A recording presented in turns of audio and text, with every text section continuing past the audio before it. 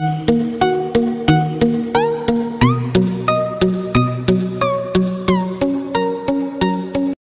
everyone welcome to my channel hello friends आज हम start करने जा रहे हैं इंग्लिश प्रैक्टिस सेशन जिसके लिए आपकी क्वालिफ़िकेशन होनी चाहिए ग्रेजुएट ट्वेल्थ या फिर टेंथ बिल्कुल नहीं, सही सुना आपने। बिल्कुल भी नहीं।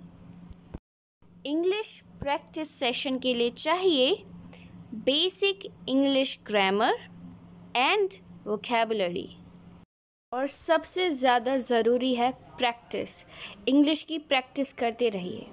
और कुछ दिनों के लिए हिंदी बोलना अवॉइड कीजिए। अब आप इंग्लिश की प्रैक्टिस कर सकते हैं अपने फ्रेंड्स के साथ फैमिली मेंबर्स के साथ कोवर्कर के साथ या फिर कस्टमर केयर से। किसी के भी साथ कर सकते हैं, ज़रूरी है प्रैक्टिस जैसे इस सेशन का नाम है इंग्लिश प्रैक्टिस सेशन तो सबसे ज़्यादा ज़रूरी है प्रैक्टिस प्रैक्टिस और practice because practice makes a man perfect so first phrase we have is thank you so much thank you so much मतलब आपका बहुत बहुत धन्यवाद। This is a simple sentence you can use to thank someone ये बहुत ही simple sentence है English भाषा में। तो आप इसका यूज़ कर सकते हैं किसी को थैंक यू बोलने में, किसी का धन्यवाद करने में। जैसे, जन्मदिन के तोहफे के लिए बहुत बहुत धन्यवाद। Thank you so much for the birthday gift thank you so much for the birthday gift मुझे घर छोड़ने के लिए बहुत बहुत धन्यवाद। Thank you so much for driving me home मेरा होमवर्क करने के लिए धन्यवाद। Thank you for doing my homework और thank you so much for doing my homework इन तीनों टेंसेस में हम किसी का आभार प्रकट कर रहे हैं, किसी को थैंक यू बोल रहे हैं, किसी को धन्यवाद कह रहे हैं तो इस तरह से हम थैंक यू सो मच का यूज़ कर सकते हैं। नॉर्मली भी हम थैंक यू से कम चला सकते हैं, लेकिन अगर आपको और ज़्यादा पोलाइट होना है तो आप पूरा सेंटेंस बोल सकते हैं। जैसे thank you so much for the birthday gift thank you so much for driving me home और thank you for doing my homework वरना थैंक यू भी काफ़ी होता है। अब देखते हैं हमारा second phrase we have I really appreciate you can also use this phrase to thank someone आप इसकी फ्रेज़ की मदद किसी को धन्यवाद कहने के लिए भी कर सकते हैं। जैसे, मैं वास्तव में आपकी मदद की सराहना करता हूँ। I really appreciate your help मतलब मैं आपकी सराहना करता हूँ। आई रियली अप्रिशिएट का मतलब ये होता है। या फिर, रात का खाना पकाने के लिए बहुत बहुत धन्यवाद। मैं वास्तव में इसकी सराहना करता हूँ। Thank you so much for cooking dinner I really appreciate it इस तरह से आप थैंक यू सो मच को और थैंक यू को और आई रियली अप्रिशिएट को एक ही सेंटेंस में मिक्स कर सकते हैं। जैसे thank you so much for cooking dinner I really appreciate it रात का खाना पकाने के लिए बहुत बहुत धन्यवाद। मैं वास्तव में इसकी सराहना करता हूँ। ठीक है? तो I thank you so much का मतलब होता है जब आप किसी को धन्यवाद कहना चाहते हो और आई रियली अप्रिशिएट का भी यूज़ आप किसी को धन्यवाद कहने में कर सकते हैं। I really appreciate now look at the third phrase which is excuse me excuse me when you need to get through but there someone blocking your way say excuse me जब आप कहीं जा रहे हो, कहीं आपको जाना है, और कोई आपके रास्ते में आपके वे को ब्लॉक करके खड़ा है तो आप बिना रूड हुए बोल सकते हैं एक्सक्यूज़ मी और वो पर्सन समझ जाएगा दैट यू वांट कि आप वहाँ से हट जाएँ, आप उनके रास्ते को ब्लॉक ना करें तो वो वहाँ से साइड हो जाएँगी। एक्सक्यूज़ मी का हम यूज़ इस तरह भी कर सकते हैं। So when you need to get through but there someone blocking your way say excuse me with polite tone you can also say this phrase to politely get someone attention जब आपको किसी party में या फिर किसी occasion पे किसी की अटेंशन चाहिए तो आप पोलाइटली बोल सकते हैं एक्सक्यूज़ मी और फिर अपनी बात कहिए। इस तरह से आप दूसरों का अटेंशन ले सकते हैं, ठीक है? तो एक्सक्यूज़ मी का यूज़ किया जा सकता है किसी की अटेंशन लेने के लिए, और और एक और है, जब कोई आपके रास्ते में और आपको कहीं जाना है तो आप पोलाइटली कहिए एक्सक्यूज़ मी ये बहुत ही ज़्यादा पोलाइट वे होगा कहने का और साथ ही ये रूट भी नहीं लगेगा और वो इंसान वहाँ से हट जाएगा। चलो इसे एग्जाम्पल्स के साथ समझते हैं। ज़रा सुनिए सर, आपने अपना बटुआ गिरा दिया। Excuse me sir you drop your wallet ज़रा सुनिए। क्या आप जानते हैं कि समय क्या हुआ है? Excuse me do you know what time it is ठीक है? तो इस तरह से आपने किसी का अटेंशन लिया। मे भी किसी भी चीज़ के लिए, जैसे एक्सक्यूज़ मी सर ज़रा सुनिए सर आपने अपना बटुआ गिरा दिया। So whenever you going through और अब देखते हैं कि किसी ने कोई चीज़ गिरा दी है, ठीक है? तो किसी का कोई सामान रह गया है तो आप बोल सकते हैं excuse me sir you miss something और is this thing belong to you क्या ये चीज़ आपकी है? ठीक है? तो इस तरह आप बात की या फिर कॉन्वर्सेशन स्टार्ट कर सकते हैं एक्सक्यूज़ मी सर कह के। सेकेंड एग्ज़ाम्पल है, ज़रा सुनिए क्या जानते हैं कि समय क्या हुआ है, ठीक है? तो अगर आपको कुछ पूछना है किसी से समय के बारे में, और मे बी आप प्लेटफॉर्म पर हैं, आप पूछना चाहते हैं कि ट्रेन कब आ रही है तो पूछ सकते हैं। एक्सक्यूज़ मी आप पहले लगा सकते हैं सेंटेंस की बहुत ज़्यादा पोलाइट लगेगा, और साथ में गुड मैनर इंडिकेट करेगा, ठीक है? So this is how we use excuse me next phrase what do you think आप क्या सोचते हैं? What do you think when you want to hear someone's opinion on a topic use this question जब भी आपको किसी की राय चाहिए, ठीक है? जब आप चाहते हो कि कोई आपको अपनी राय दे तो आप इस फ्रेज़ का, इस क्वेश्चन का यूज़ कर सकते हैं। वट डू यू थिंक आप क्या सोचते हैं? ठीक है? जैसे I'm not sure if we should paint the room yellow or blue. What do you think? I'm sure I'm not sure. मैं श्योर नहीं हूँ मुझे यकीन नहीं है कि हमें कमरे को पीला रंग देना चाहिए नीला रंग तुम्हारा क्या विचार है ठीक है तुम इस बारे में क्या सोचते हो वट डू यू थिंक तो इस तरह से हम वट डू यू थिंक का यूज़ कर सकते हैं जब हमें किसी का ओपिनियन सुनना हो ठीक है? अगर वो आपको अपना ओपिनियन नहीं दे रहा है या आप चाहते हो कि आप वो आपको ओपिनियन दे ठीक है? तो आप इस फ्रेज़ का यूज़ कर सकते हैं बहुत ही पोलाइट मैनर में।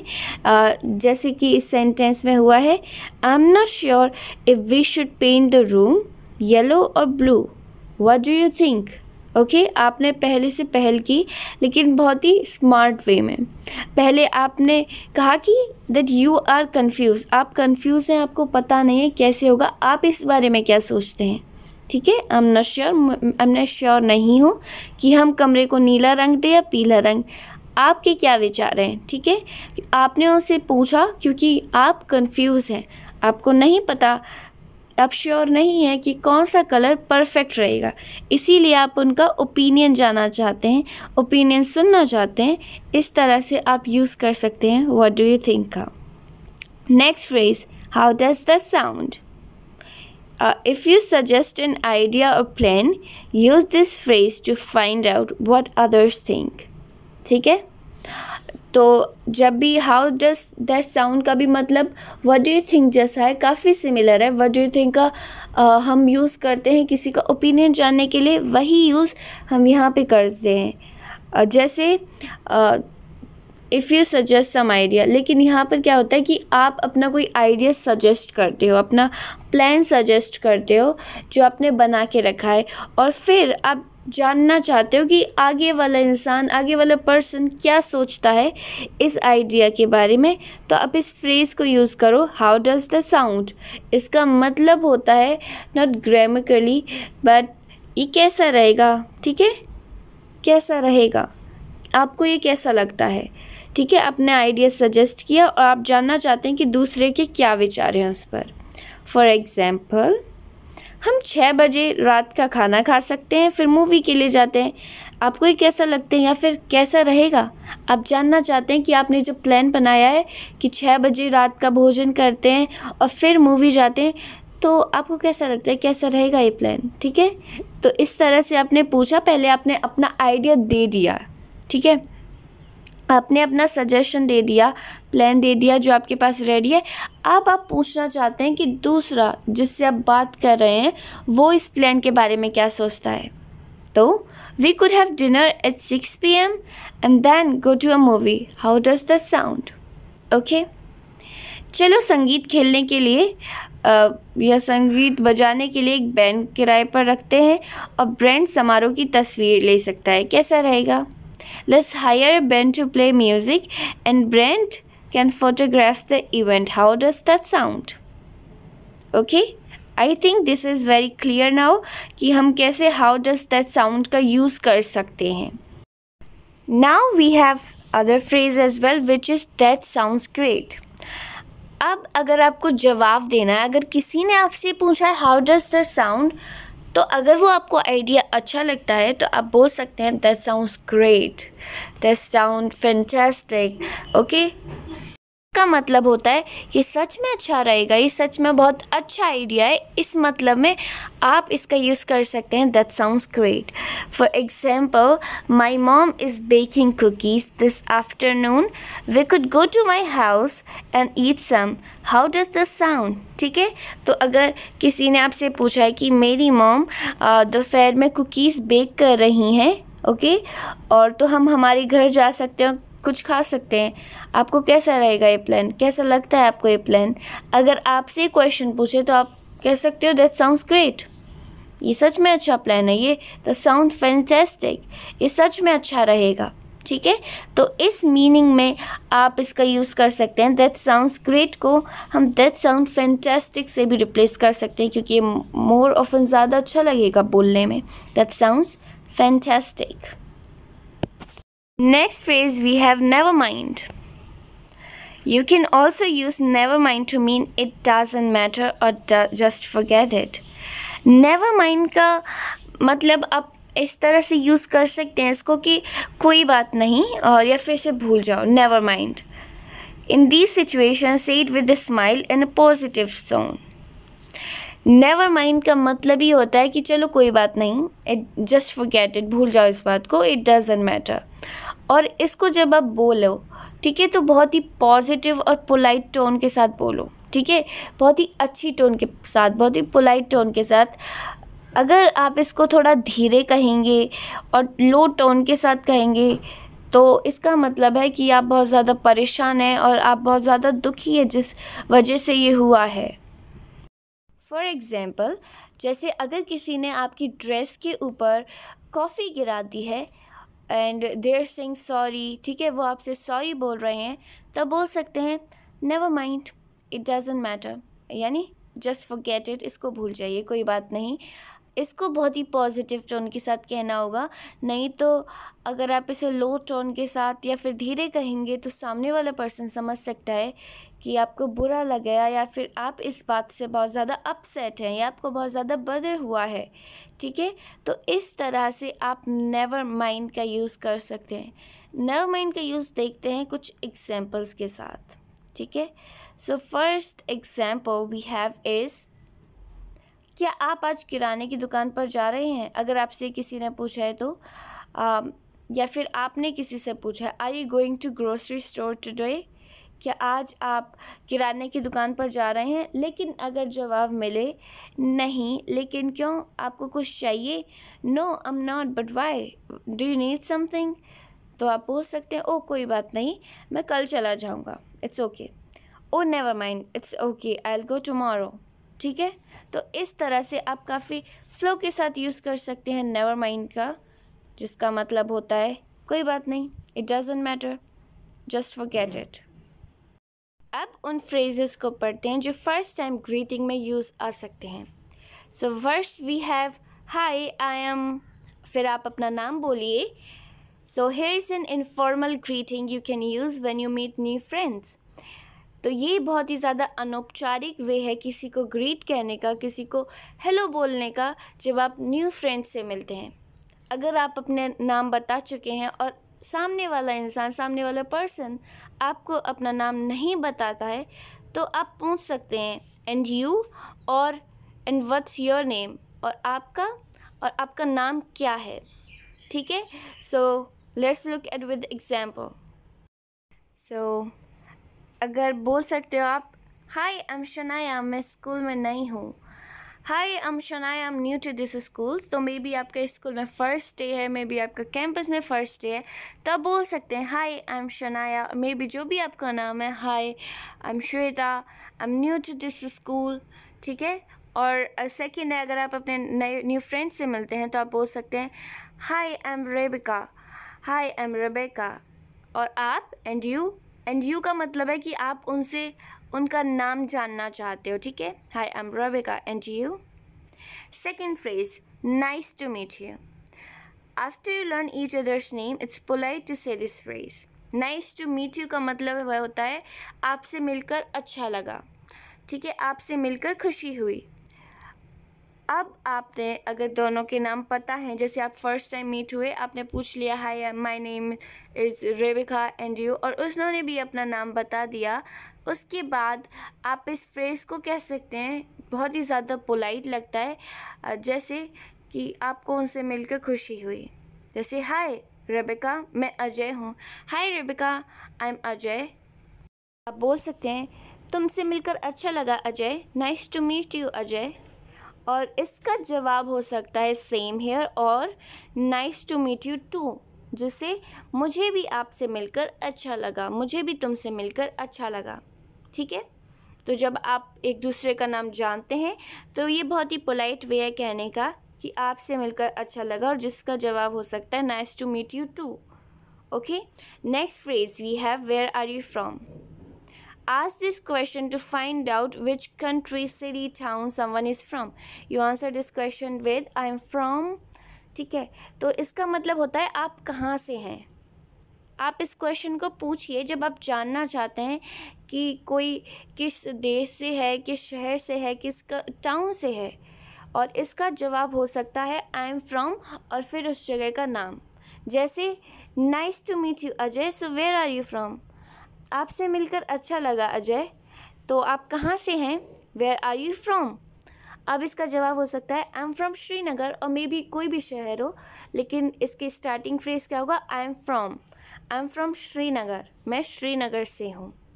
अगर आप भी जानना चाहते हैं तो पूछ सकते हैं। And you what do you do आप क्या करते हैं?